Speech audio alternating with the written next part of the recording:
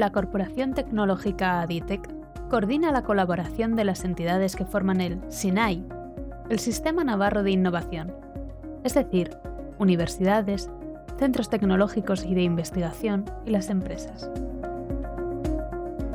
De esta manera, aspiramos desde Aditec a incrementar el desarrollo de nuevos productos, procesos o servicios empresariales que están alineados con la Estrategia de Especialización Inteligente de Navarra, S3.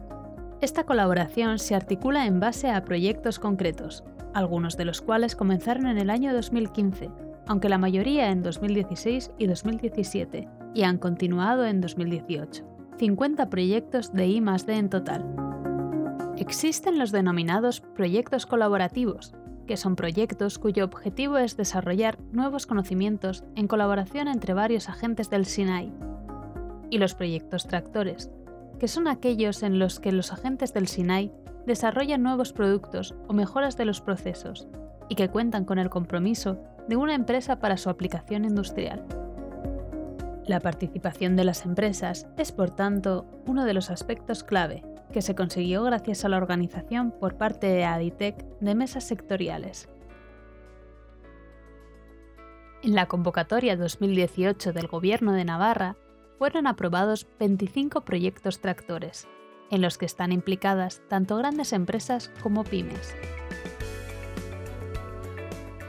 A continuación, vamos a desglosar los 25 proyectos tractores coordinados por Aditec de esta convocatoria 2018. Área de automoción y mecatrónica.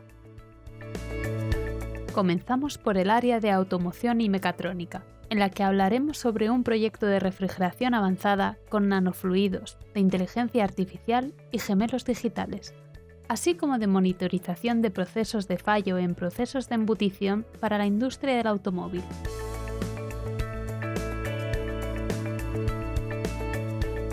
Área de cadena alimentaria.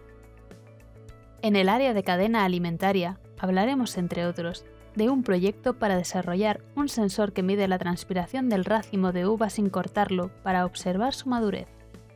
Otro proyecto de desarrollo de ingredientes imprimibles en impresoras 3D, así como de un proyecto para desarrollar sustancias orgánicas naturales procedentes del suelo, para incrementar el desarrollo vegetal en plantas cultivadas en suelos salinos.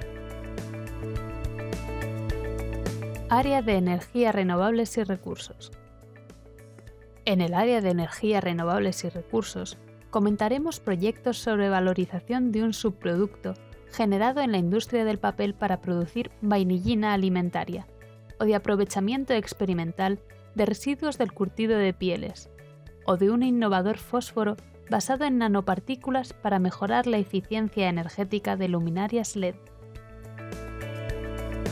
Área de salud. El cuarto área es el de salud. A continuación, hablaremos de proyectos tractores que tratan sobre el desarrollo de secuencias de RNA para regular genes terapéuticos, sobre la identificación y tipificación de bacterias del género Brucella, así como de estrategias de inmunoterapia basadas en linfocitos T redirigidos. La colaboración entre distintos agentes, por tanto, es clave a la hora de afrontar los retos tecnológicos que nos proporcionan una mayor calidad de vida. En la Corporación Tecnológica Aditec estamos convencidos de las ventajas de esta cooperación tecnológica.